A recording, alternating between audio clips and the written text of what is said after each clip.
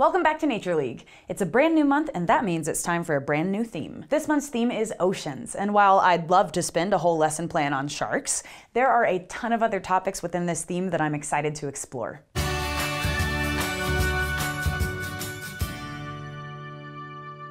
We filmed Nature League on location in Montana, and if you know US geography, you know that the nearest ocean is a decent distance from here. That said, living a bit inland hasn't stopped me from loving the ocean. The sea has always felt like home to me, and not just because it has sharks. The ocean simply captivates me, and always has. So before this becomes a love letter from me to the sea, let's go through some ocean basics. One of the things that amazes me about the ocean is that it's big. Like, really big, gigantic. The National Oceanic and Atmospheric Administration recently estimated the volume of the ocean to be approximately 1 billion 335 million cubic kilometers. The ocean is so large that it's hard to even conceptualize this kind of size. Not only is the ocean massive, but it's also ancient. The planet Earth is estimated to be about 4.5 billion years old. What's crazy is that the Earth's oceans are almost as old as that. At its early stages, the Earth would have been been too hot for liquid water. So one possibility as to how the oceans got here is that as the Earth cooled, water vapor condensed into liquid form. Another theory is that ice was delivered from space by comets or meteors and then melted. Either way, the water in the oceans is probably close to 4 billion years old. All right, so the ocean is really big and really old. But what's happening inside? How do humans interact with it? And who calls it home? There are so many ocean topics we could talk about that I had a hard time picking and choosing for this lesson plan. So instead, I asked around to get an idea of what people would like to know about Earth's oceans. And for the rest of this lesson plan, we're going to mix it up a bit. It's time for an Oceans Q&A. Is the fish population decreasing as dramatically as they say? It's hard to talk about global trends for fish, partly because there are so many of them. Scientists estimate that there are over 15,000 species of marine fish. Of those, close to 200 are currently listed as either endangered or critically endangered by the IUCN Red List. Humans typically only affect a small percentage of those thousands of marine fish species. However, the ones we do affect, we tend to affect in major ways. What kind of niche ecology is in the deep sea? A niche niche can be broadly defined as a species' functional role in an ecosystem. Basically, different species do different things, and the general patterns seen in the deep sea are similar to those elsewhere on Earth. However, there are some interesting exceptions. The deepest parts of the ocean don't receive any sunlight, so some niches are occupied a bit differently than we're used to. On land and in shallow seas, the role of primary producer in an ecosystem is some kind of plant. However, without sunlight, the lowest levels of the food chain in the deep sea have to get their energy energy from somewhere else. Even though there's no sunlight, scientists estimate that there are over 17,000 marine species living in the deep sea. It turns out that some of these creatures can create their own forms of energy from chemicals in the water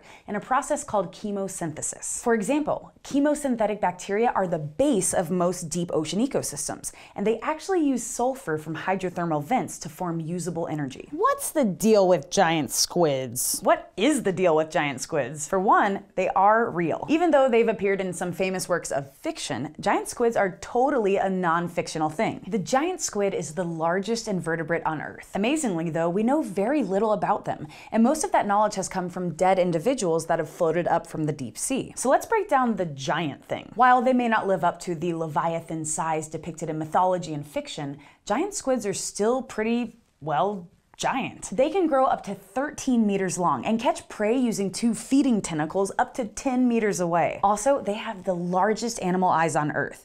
Each one is about a foot in diameter. What are we doing about the pollution in our oceans? At this point, plastics are the largest pollutants in the ocean when it comes to human-made products. Attention has been increasingly drawn to the issue, however, and just last year at the United Nations Environmental Assembly, more than 200 nations approved a resolution to eliminate ocean plastic pollution. While this isn't legally binding, some countries have put legal restrictions in place. Countries like Australia, Kenya, Chile, and the UK have either banned or imposed significant fines on plastic grocery bags. How do ocean currents affect the world? How don't ocean currents affect the world? Ocean currents work sort of like global conveyor belts, moving water, nutrients, and organisms all around. What's more, the ocean absorbs the majority of the sun's radiation, meaning that the oceans are almost like gigantic solar panels. When water heats up enough, it evaporates, meaning the ocean water actually affects the temperature, humidity, and weather patterns on land. However, way more solar radiation hits the equators than the poles of the Earth. If there weren't any ocean currents, the heat and energy absorbed at the equator wouldn't get moved around to other places.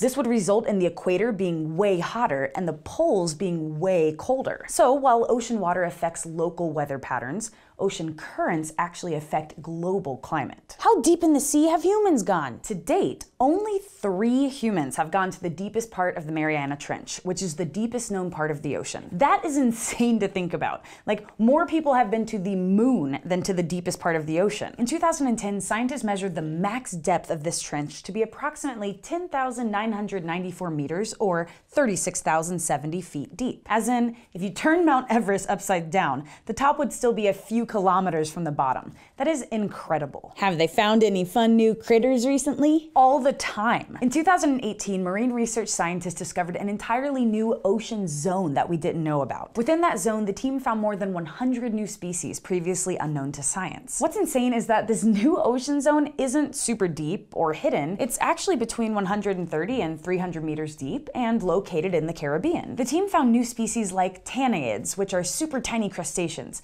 dozens of new algae species, and even a black wire coral. If an entirely new biological community was just found in shallow-ish, commonly explored regions, just imagine what we don't know about the rest of the ocean. Are deep sea creatures basically aliens? This is actually something I think about a lot. Whenever I watch science fiction movies with aliens, I can't help but think of Vampiroteuthis, or the vampire squid. If this isn't a science fiction alien, then I do not know what is. The deepest parts of the ocean, the parts inside of trenches in the bottom of the sea, are actually referred to as the Hadal Zone. There's a wild word for you. Hadal actually comes from the name Hades, the Greek god of the underworld. Even the scientific words we have for the deep ocean have a mythological history, so why not consider them aliens? If nothing else, creatures from the deep ocean definitely deserve some royalties for sci-fi costume design. Where are the sunken fortunes? What, you think I got this for fun? Tell me more about bioluminescence. Bioluminescence is when organisms emit light using a special biochemical reaction. While we do see examples of this on land, like fireflies, this phenomenon is most commonly seen in the oceans. Most people think of deep sea creatures when bioluminescence is mentioned. However, species throughout the Earth's oceans are capable of this feat. You'll find bioluminescent species at the top of the water column, at the bottom of the ocean, right near the beach, or even in the middle of the ocean, thousands of kilometers from land. And when you think about how big the deep ocean is, is and how many species exist there, an interesting thought comes to mind. It's possible that bioluminescence is the most common form of communication on Earth. Can the oceans be harnessed to reverse climate change? What's an exact procedure? Exact procedure is asking a bit much, but there are certainly some incredible ideas on the table at present. Geoengineering refers to large-scale human intervention in Earth's systems to do things like combat climate change. Because the ocean is so integral to global climate and can capture greenhouse gases from the atmosphere, some of the most prominent geoengineering ideas involve the ocean. One of these is called ocean fertilization. Here's how it works. Phytoplankton take in the greenhouse gas carbon dioxide to do photosynthesis. When they die, the carbon dioxide is inside of them and goes down to the bottom of the ocean instead of being in the atmosphere, contributing to global warming. Ocean fertilization aims to boost the populations of phytoplankton, specifically by jacking up the ocean's iron content. Phytoplankton require iron to grow, so the idea is that doping the oceans with with iron could boost their populations. While ideas like this are cool, the issue is that we don't fully understand the potential consequences. In fact, large-scale ocean fertilization is actually banned by an international treaty at present, so it'll be some time before this actually happens, if at all. The ocean is crazy and beautiful and complex, and most incredibly, is something we barely even know about. But there are some things we've figured out, and we'll be exploring these ocean components and themes throughout the month. So make sure to come back next week for an ocean themed field trip where we'll take it to the streets. Thanks to my friends for these ocean questions and to you for watching this episode of Nature League. If you want to join in on the conversation, write your ocean questions in the comments section below, and I'll be answering them throughout the week. And to keep going on Life on Earth adventures with us each week, make sure to go to youtube.com slash natureleague and subscribe.